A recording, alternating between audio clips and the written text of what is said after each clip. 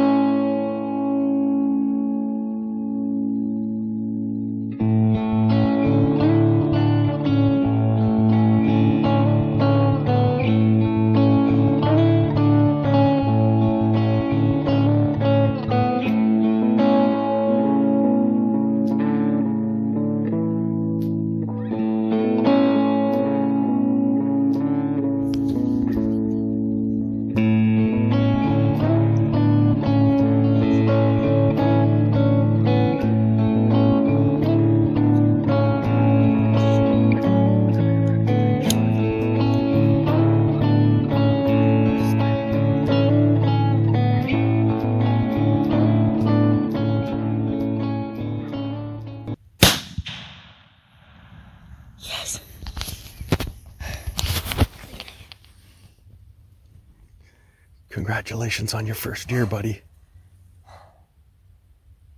All right, here we are. It is uh, 5:55 on November 3rd. Uh, we came out. We sat in the field. We were sitting there talking. Ben looked up. Say hi, Ben. Hi. He looked up. He said, "Deer." Um, we waited. We waited. She came across the field. He lined up.